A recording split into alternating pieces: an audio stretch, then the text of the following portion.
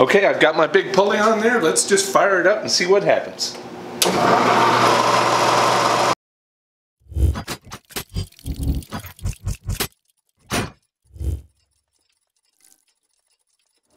Last week I walked you through the construction of the slot cutting milling machine. It's, it's a milling machine that has one task and that is to cut a slot in a piece of tubing like this.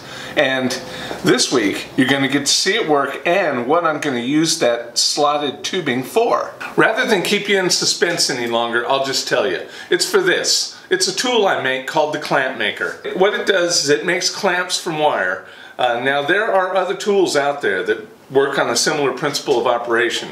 I don't know who came first. I think I did. I made my first one in 1995. I was inspired by a guy I saw using a long pole with a slotted end to uh, tighten a bundle of stuff together with rope. So now you're going to see version 2 of the clamp making machine and, and how it works. I'll show you how to make a clamp maker so you can make one for yourself if you so desire or maybe you'll just buy one from me. You may recall from last week that the workpiece holder has this roll pin in it to locate the stock in the same place every time. So the first thing we need to do is prepare the stock by putting a hole in it.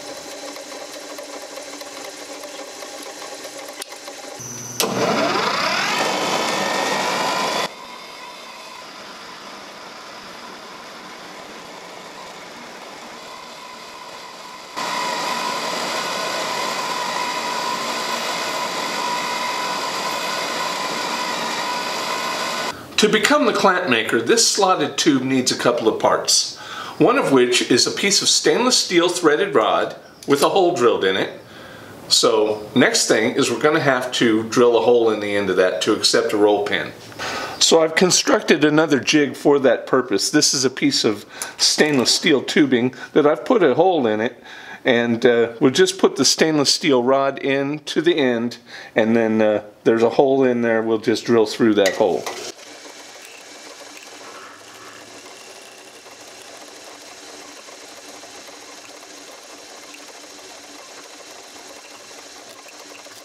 And there's the hole. That thing works pretty well.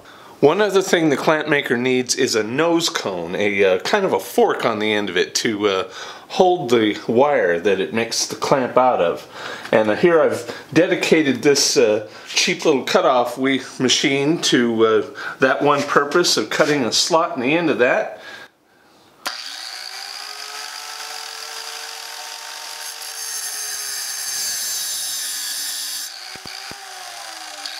And there's my little nose cone.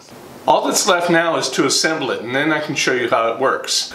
We'll begin by installing this roll pin to hold the nose cone in.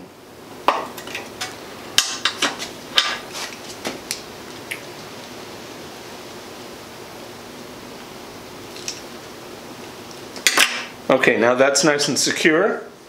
Now,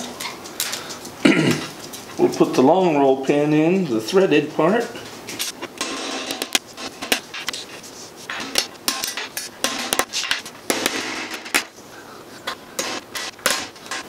All right, put the wing nut on the end.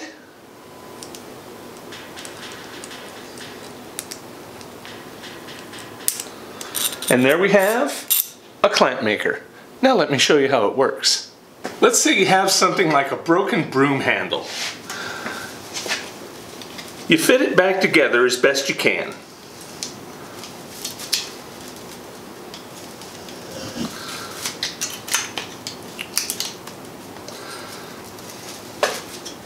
You take yourself a piece of wire and you make a loop out of it.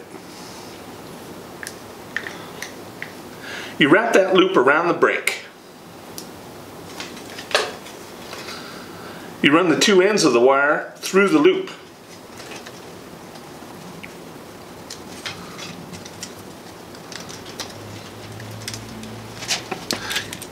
You put the nose cone onto the loop of the wire and then you wrap the two loose ends around the roll pin. Then you tighten with the wing nut.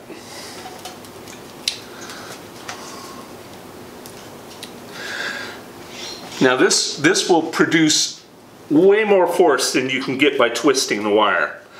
Then fold over.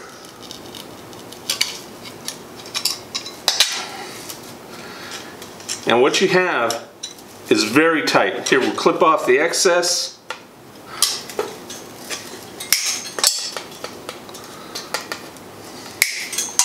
And since this is a pretty long break, we'll put another one over here. And that, my friends, is the clamp maker. And fixing broom handles is only the beginning of what it can do. The only limit is your imagination. I've used it to hang signs on steel poles, I've used it to mend fences, even the antique horn on my Schwinn Twin Tandem is held on with wire clamp made by the clamp maker. And you might be wondering, why did I build that complicated machine and those fixtures and modify that chop saw just to build this clamp maker? Well, the reason is, it's my intent to build hundreds of clamp makers, not just one. By adding some limit switches, I should be able to completely automate the machine. So all I have to do is put the stock in and, and, flip one switch.